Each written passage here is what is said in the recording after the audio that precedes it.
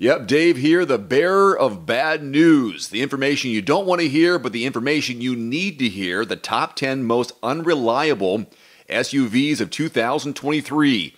Do not buy these. Let's begin. At number 10, the Mini Countryman. It's hard to imagine a strong reason to consider this vehicle in 2023. Aside from its unique looks and somewhat upscale feel, it doesn't really excel in one area, except below average reliability. Minis are not known for aging well. Either do I.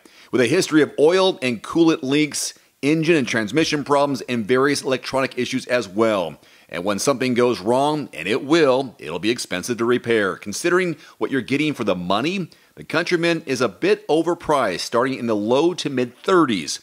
So even though they do have somewhat of a unique and cool image if you're looking to buy a small crossover SUV, pass on the Countryman. Next, the Buick Encore. Buick's smallest aging crossover is just as uncompetitive when you compare it to other small SUVs, most of which offer better value for your money, but not only does the Encore offer poor value, but it also has a hit or miss reputation when it comes to long term reliability. Some owners say they're happy with this crossover, others not so much, with constant complaining with all kinds of ongoing issues, including problems with the engine, the six speed automatic transmission, various and different electronic issues.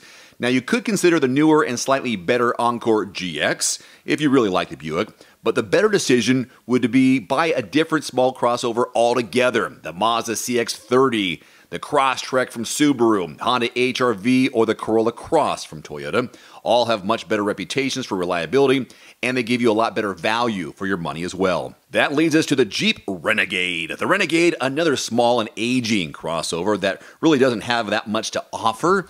It does share a lot of components with Fiat, which explains its below average reputation for reliability. Not only can the Renegade become problematic as they age, but they're not exactly cheap to repair or cheap to buy either. Jeep is betting on their reputation and image and hoping that you're willing to pay a premium. But if you really want a Jeep and you want that image and the off road capability, I'd say go for the Wrangler instead. At least if you buy a Wrangler, you're going to have a vehicle that holds its value over time, which certainly is not going to happen with this Renegade. With its below average reputation for reliability, poor value for money, and poor resale value, this is another example of an SUV that you just want to avoid. The Lincoln Aviator also makes this list. It's certainly quite a luxurious and beautiful vehicle to drive, but it's just too expensive for what you're getting, especially with the much higher quality alternatives that you could buy instead. Much like its non luxury three row cousin, the Explorer, the Aviator has many reported quality issues, recalls, complaints with the transmission. And not only does it have below average build quality, but it's very overpriced for what you're getting especially if you go for the plug-in hybrid version, which is the Grand Touring. The plug-in hybrid would have been a good option if it had good electric range and good fuel economy in hybrid mode, but sadly, both of those things are not there. As a whole, the Aviator is just an overpriced SUV that really doesn't deliver when it comes to performance or reliability, so it really isn't worth considering. You're better off with the Acura MDX. The Blue Oval has another unlucky participant on my list, the Ford Bronco. This was highly anticipated as an off road vehicle and launched with so much hype and excitement, but unfortunately, Ford is not known for smooth launches, especially with the all new models, and the Bronco can relate. The most significant one being engine failures. With the 2.7 liter turbo EcoBoost engines, the National Institute for Highway Traffic Safety Administration has reported valve train issues, where the valves can drop inside the cylinder chamber, effectively destroying the entire engine. You'd be safer buying something like a Toyota 4Runner, which has a better reputation for long term reliability and ice pond domination. Speaking of potential engine issues, the Kia Seltos, which I do like, although the Seltos is relatively new to the market, like the Bronco, launching back in 2021. It also has its fair share of issues. The most significant one has to do with the 2 liter 4 cylinder, which unfortunately is part of a major safety recall. Kia was forced to recall a ton of these engines back in 2021 for having defective piston rings, which could lead to oil consumption and sometimes complete engine failures too. Now, you might think you're safe going with the optional 1.6 liter turbo engine on the higher trims, but unfortunately, this is one that also has issues with a 7 speed dual clutch transmission. So, whichever drivetrain you go with, it seems that you just can't win with the Seltos.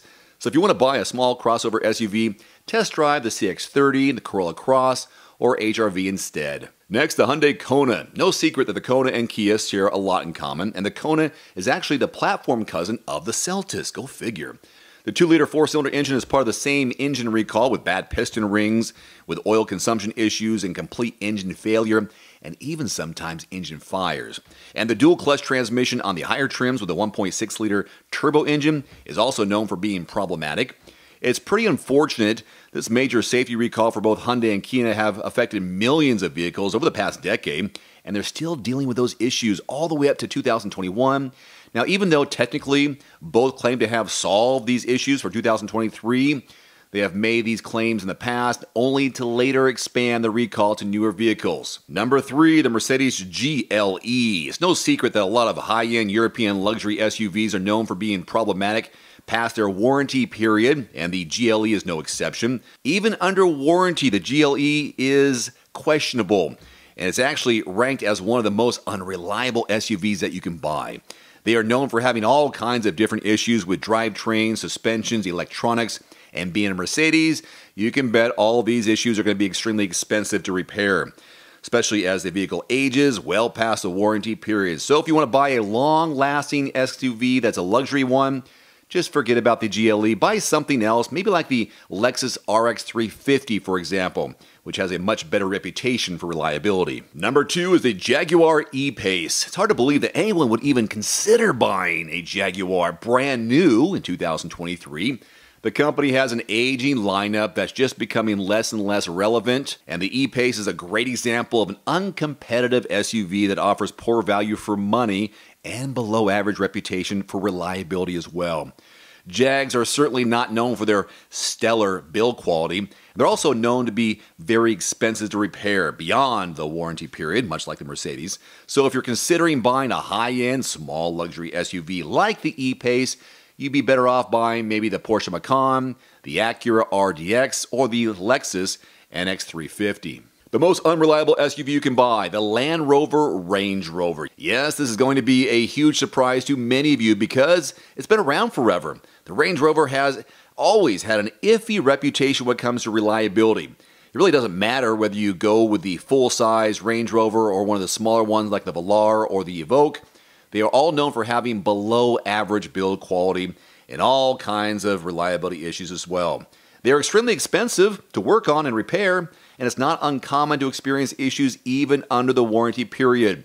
And who's really willing to deal with all those kinds of issues, especially with a really expensive vehicle like this one? So do yourself a favor. If you want to buy a high end luxury SUV, buy anything other than the Range Rover, and you're most likely going to be better off in my humble opinion. One final note, if you are in the market for a new vehicle soon, great. Connect with your local dealership and price and test drive at least three different vehicles.